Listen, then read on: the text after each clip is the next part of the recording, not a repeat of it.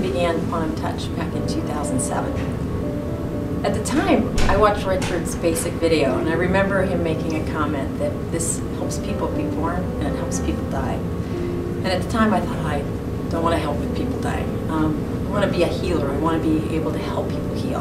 And you changed that paradigm for me as well, Richard. It was about the fact that they're the healer, which helped me through a crisis because about a year later, I was, um, an old friend came back into my life who I had lost contact with. And at the time, she'd had breast cancer in the time that I had been away from her. And when we got back together, she was in a joyous state, and I was able to help her with quantum touch on just some minor things.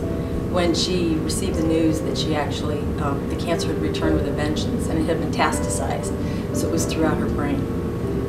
And I remember thinking, quantum touch, I can help heal her. But I got this message that no, that's not what I was there for. I was there to help support her. And so through this journey, I would go to her home because she was now homebound, and I would work with her and I could help her with pain relief. So she'd be in immense pain, and I was able to go lay hands onto her, um, working especially with her head, and watch that pain melt away. And it was a beautiful gift that you gave me that I could give back. And in her last days in the hospital, I would go in some days when people around her were praying and in fear, and there was a great deal of fear within her. So this not only helped me help her physically, but it helped me help her especially um, spiritually. Because I remember going in one day, and she was laying curled up in a fetal position in the hospital with a rag over her eyes. She couldn't see. She was moaning in pain, and I walked in and I laid hands on her head and what I remembered is that it's your love that makes a difference. And so all I did was run as much love as I could, in, could build in my heart through my hands and into her head.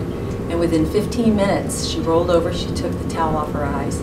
She opened them and she looked around. She goes, I feel good. So I continued to run the energy and she sat up on the bed and she goes, I feel joyous. And she says, and I'm hungry. it was interesting because some of her friends came in and they'd been gone over the lunch hour. They'd had sat by her bedside on death watch. And uh, they came in and the question they asked is, what are you doing here and who are you? And so I explained I was a friend and I was just here to help support her. And their question was, well, does this come from God? And I said, this comes from love. And so whatever that source is, this is about help healing in a spiritual as well as a physical way. And so I want to thank you for allowing me to learn that can give that gift back. Thank, Thank you very much. Thank you. That's beautiful. Wow. That's special.